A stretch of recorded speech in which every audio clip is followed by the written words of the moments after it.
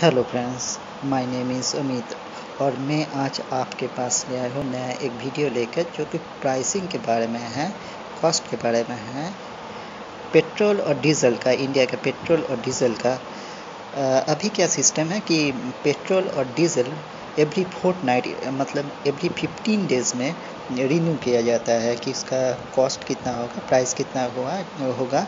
वो डिपेंडेंट रहता है इंटरनेशनल मार्केट में इसका फ्यूल का कॉस्ट कितना होता है, उसका ऊपर। लेकिन अभी खबर आ रहा है कि यह थोड़ा चेंज हो रहा है। क्या ऐसा चेंज हो रहा है?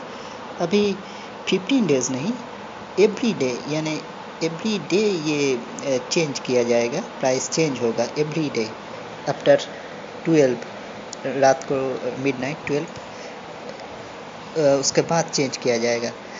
तो ये खबर आ रहा है Indian Oil Bharat Petroleum Hindustan Petroleum जो तीन बड़ी कंपनी हैं, जिसके अंदर ऑलमोस्ट 90 परसेंट ऑयल सप्लाई किया जाता है इंडिया में।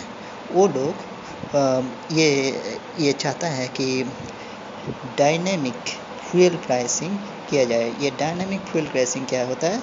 ये होता है कि every day dependent on price of international market fuel का प्राइस कम होगा कि ज़्यादा होगा, ये डिसाइड किया जाता है। उसके मुताबिक आपको फ्यूल ख़रीदना पड़ता है मार्केट से ठीक है?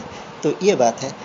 तो ये खबर आ रहा है कि फ्यूल कंपनी जो बताते आया है अभी तक कि उन लोगों का लॉस होता है एवरी फिफ्टीन डेज़ में जब रिन्यू किया जाता है प्राइस तब उन लोगों का लॉस होता है। तो इससे क्या होगा? उन लोगों का लॉस नहीं होगा, कि लॉस बहुत कम हो जाएगा। हालाँकि रिलायंस और एसर है, उन लोग को वो लोग अभी तक इस बारे में कुछ भी नहीं सोच रहे हैं। यही पता चलता है। जो जो भी हो, लेकिन ऑयल प्राइस सभी कंपनी का सेम है। ऐसा नहीं है कि एक का ज़्यादा है कि एक कम है। तो इस दिखा जाएगा कि ये डिसीज़न क्या होता है? गवर्नमेंट क्या आ, करता है इसके बारे में? तो नियर फ्यूचर में ये हो सकता है ये खबर आया है। तो बहुत बहुत धन्यवाद। थैंक यू वेरी मच हमारे वीडियो देखने के लिए और चाहते हैं कि आप सब्सक्राइब करें मेरे चैनल करें और लाइक कीजिए और कमेंट शेयर कीजिए और सब्सक्राइब करना मत भूलिए। Thank you very much